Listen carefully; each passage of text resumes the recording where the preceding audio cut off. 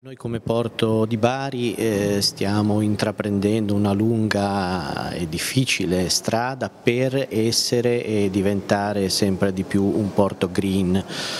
Innanzitutto perché abbiamo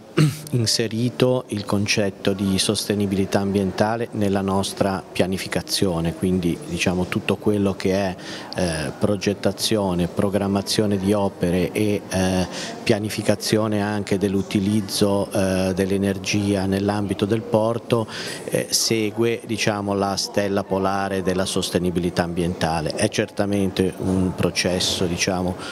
molto lungo perché Partiamo, ma credo come un po' tutti i porti italiani, diciamo, da condizioni eh, molto arretrate, cioè i porti sono luoghi dove per natura eh, si produce inquinamento ambientale perché dalle emissioni delle navi, le emissioni dei mezzi operativi, le emissioni dei mezzi eh, pesanti o delle auto che attraversano il porto come nel caso di Bari dove c'è la preponderanza del traffico eh, traghetti piuttosto che le polveri eh, delle merci che vengono sbarcate imbarcate. Cioè, è un, diciamo, un ambito eh, sicuramente che eh, ha necessità un alto consumo diciamo, di energia in senso generale, si pensi soltanto al tema dell'illuminazione del porto. Quindi diciamo una materia assolutamente diciamo, importante e complessa che noi eh, abbiamo iniziato da alcuni anni ad affrontare con realismo eh, adottando diciamo, un, eh, un, piano di lavoro che ovviamente avrà bisogno di, di, tempi lunghi per una sua completa realizzazione ma passo dopo passo, giorno dopo giorno cerchiamo di eh, migliorare diciamo, la sostenibilità ambientale del porto. Posso fare diciamo, alcuni esempi, eh, innanzitutto l'adozione del eh, piano energetico portuale, è uno strumento che, eh, di cui ci stiamo dotando e che non è previsto dai normali strumenti di pianificazione previsti dalle leggi, cioè noi dobbiamo fare il piano regolatore eh, i piani di utilizzi delle aree, ma non un piano diciamo, energetico. Noi abbiamo ritenuto invece di dotarci di questo strumento proprio per eh, dire, minimizzare eh, e razionalizzare il, eh, i consumi, quindi mettendo al centro sia il tema del risparmio energetico sia il tema eh, del eh, diciamo, sviluppo delle energie rinnovabili all'interno della produzione di energia. Abbiamo stipulato un accordo con Enel che eh, è già in vigore e di cui il primo risultato è la costruzione in porto di una nuova cabina di trasformazione eh, dell'Enel che avrà eh, il, due scopi fondamentalmente, da un lato di migliorare diciamo, la distribuzione dell'energia elettrica nel territorio della città e dall'altro però quella di consentire di sviluppare quelle potenze elettriche molto forti che sono necessarie per eh, fornire energia elettrica alle navi quando sono in porto, il cosiddetto cold ironing. Eh, si tratta di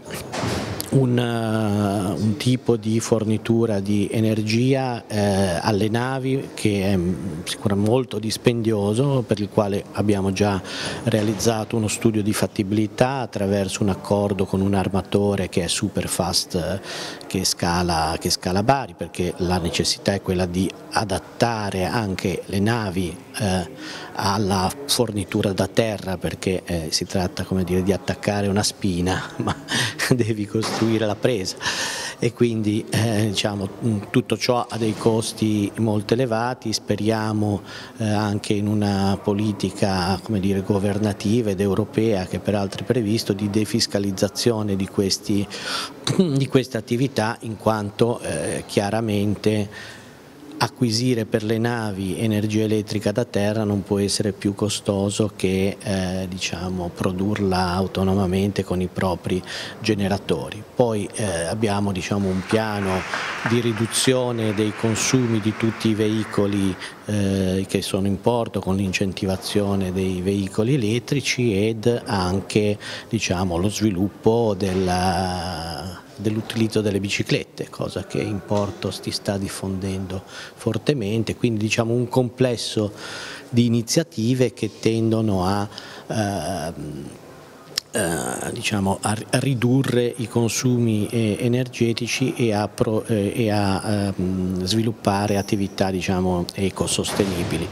L'ultimo aspetto, ma è molto importante, è quello della gestione dei dati che derivano, eh, diciamo, cioè la costruzione del Port Community System, che è un sistema integrato diciamo, di gestione dei dati, un sistema informatico che riguarda diciamo, tutti i soggetti che eh, sono in porto e che consente di avere eh, un complesso diciamo, di dati e di informazioni che sono utili appunto anche alla gestione del tema dei consumi